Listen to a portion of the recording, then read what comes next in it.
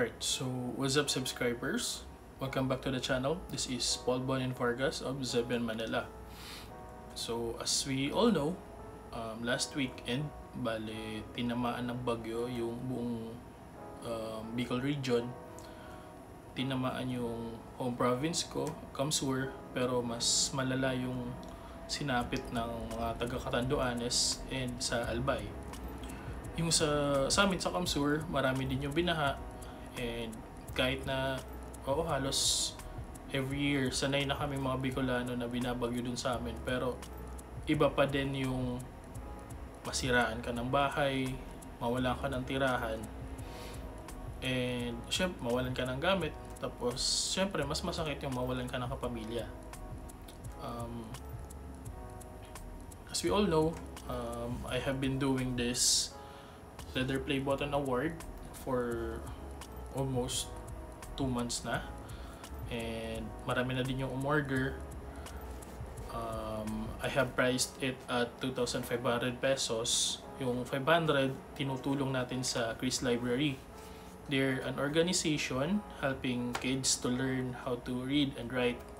Pero I think um, it's time na tumulong muna tayo sa for me, tumulong muna sa mga kapwa Bicolanos ko So, I'm repricing the leather play button to 2,000 pesos only.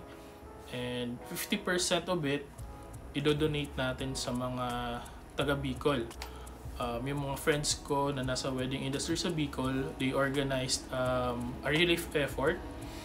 And yun nga, yung 50% ng each sales ngayong buong November will be donated to them under your name. So, I know magtataka kayo bakit 50% lang, but di ko pa ginawang 100%.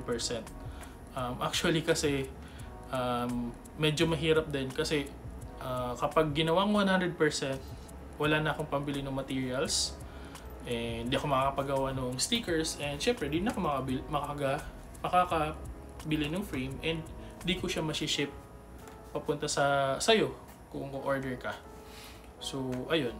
I'm repricing down the leather play button um, fee to 2,000 pesos which is 2,500 dati and yung 1,000 pesos will be donated under your name dun sa relief effort. So, yun. Yun lang yung video natin ngayon.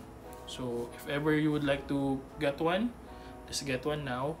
Kasi by December, I will be putting it back to 2,500 pesos and itutuloy natin yung pagtulong sa Chris Library. So, ayun. Thank you and Diyos mabalos. Bangon tayo mga Oragon.